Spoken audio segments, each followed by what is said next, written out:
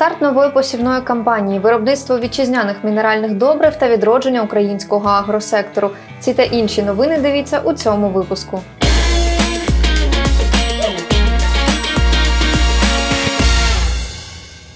Всім привіт! З вами Adam News. І Тут ми говоримо про топ головних новин агросфери. Тож запасайтеся смаколиками, сідайте зручніше та поїхали.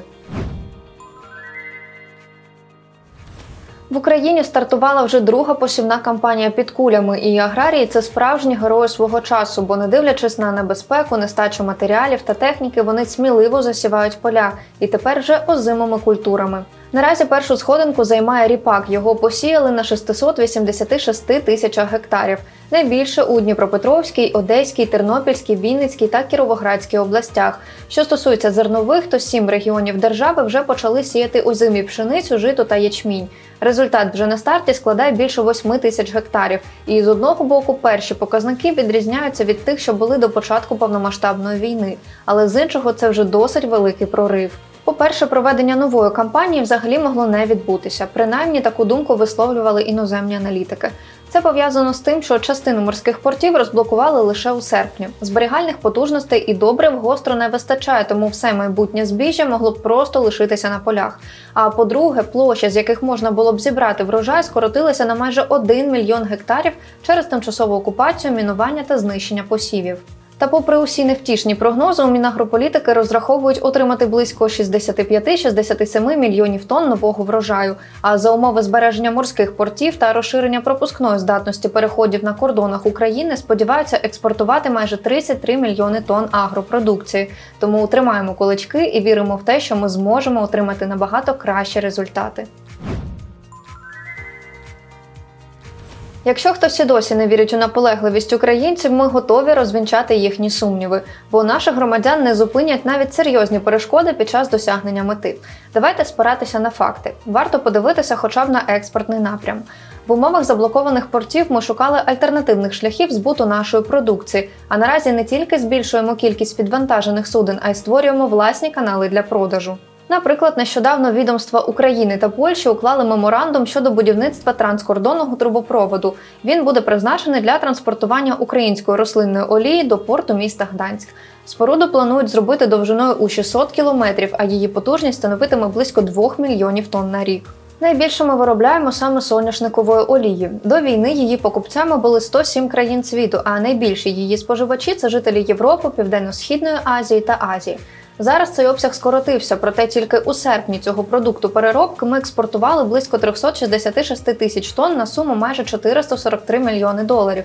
Це на 30% більше показника у липні. І такий результат цілком виправданий, бо наразі держава стимулює створювати переробні підприємства. Готовий продукт, тобто олія, користується більшим попитом аніж сировина. До того ж, його можна збути дорожче, а соняшнику ми вирощуємо достатньо, тому його олія і стане основним товаром цього трубопроводу. Та від сусідства з країною агресором можна очікувати будь-чого, тому влада нашої країни і намагається знайти альтернативні шляхи для експорту, щоб у майбутньому не розраховувати у більшій мірі на морські порти. Тож паралельно із трубопроводом наразі вирішується питання, наприклад, великих черг із вантажівок на польсько-українському кордоні. І маємо надію на те, що ми знайдемо більше можливостей для експорту української продукції, а дефіциту нашої олії точно не буде у закордонних магазинах. Зараз увага міжнародної спільноти прикута до кораблів з агропродукцією, які прямують з України в різні куточки світу. Однак не лише від експорту зернових залежить економіка нашої держави. Нарешті національне виробництво мінеральних добрив невеликими кроками виходить із кризового стану, в який його загнала війна. На початку березня майже всі українські заводи сільськогосподарських хімікатів зупинили роботу.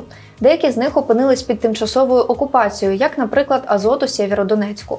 А багато з тих, що знаходяться на підконтрольній території, зазнали значних пошкоджень внаслідок обстрілів.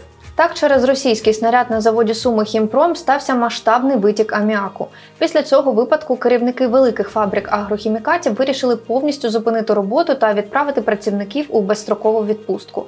Наприклад, у квітні було законсервовано найпотужніше виробництво добрив в Україні це Одеський припортовий завод. Тож в цьому сезоні національний ринок сільськогосподарської хімії пережив найгірші часи за останні кілька десят років. Але українські фермери змогли витримати це випробування. Деякі господарства врятувались від дефіциту тим, що придбали необхідні засоби обробітку заздалегідь. Також популярним рішенням стали спеціальні кредитні програми. Маленькі підприємства, що не ризикнули брати пільгові позики, взагалі позапланово змінювали графіки сівозмін. Річ у тім, що їм довелося робити вибір у бік соняшнику та сої, бо вони дешевші при посіві та потребують меншої кількості спеціальної хімії. Завдяки двом підприємствам, що не зупиняли свою роботу, ми змогли хоча б мінімально закрити внутрішні потреби добрив. Більш того, на фоні сезонного спаду попиту зараз на ринку утворився надлишок, який ми можемо експортувати та отримати додаткові надходження до бюджету. До того ж, один із найбільших національних виробників рівне азот нарешті відновлює виробництво добрив. Тож Україна має всі шанси в наступному сезоні повністю забезпечити себе продукцією та зайняти до 15% ринку Євросоюзу. Поки окупанти намагаються знищити все, що пов'язано з Україною, її культурою, здобутками та тим, що може вплинути на продовольчу безпеку, наш аграрний сектор ніби відроджується з попелу. Так, багато галузей отримали значні збитки, але подекуди складається враження, що це стало певним поштовхом до пошуку нових шляхів розвитку. Наприклад, на Прикарпатті вирішили відроджувати вівчарство. У залежності від того, яку породу овець будуть вирощувати, тобто молочну чи м'ясну, можна отримати велику кількість агропродуктів. Наприклад, виготовляти якісні сири, або ж якщо молока буде дуже багато, вдосконалювати нові напрями переробної галузі. Крім того, завдяки цьому проєкту буде створено щонайменше 500 нових робочих місць, а його реалізація саме у гірському регіоні сприятиме розвитку туризму. Також в Одеській області цього року планують створити центр вивчення мигдалю і організації селекційної роботи. Наші співвітчизники разом із зарубіжними партнерами збираються закласти колекційний сад.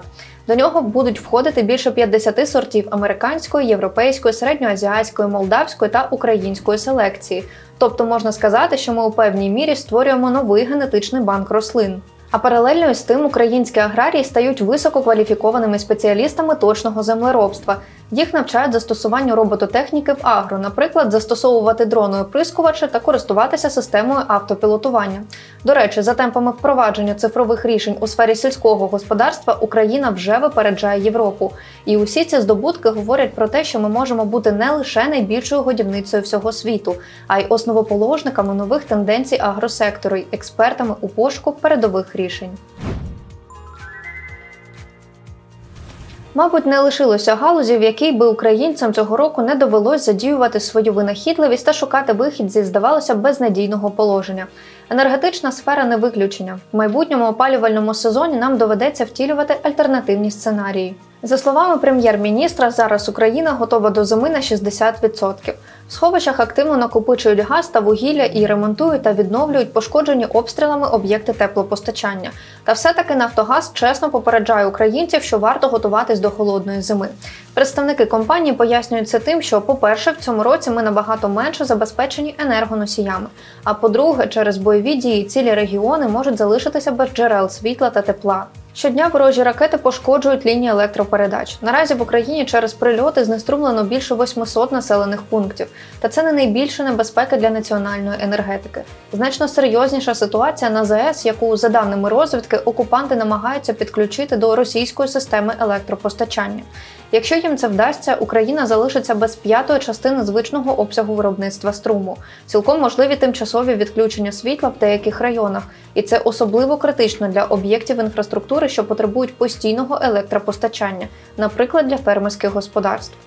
Щоб забезпечити своє підприємство електрикою та теплом, радимо потурбуватись про альтернативне джерело струму. Чудовим варіантом стане потужний дизельний генератор, бо у порівнянні з бензиновим він досить економний та витримує значно більше навантаження при безперервній роботі. В умовах війни важко знайти якісні варіанти такого обладнання не за всі гроші світу, тому варто звернути увагу на продукцію українського виробництва на національних майданчиках, таких як Адамуа.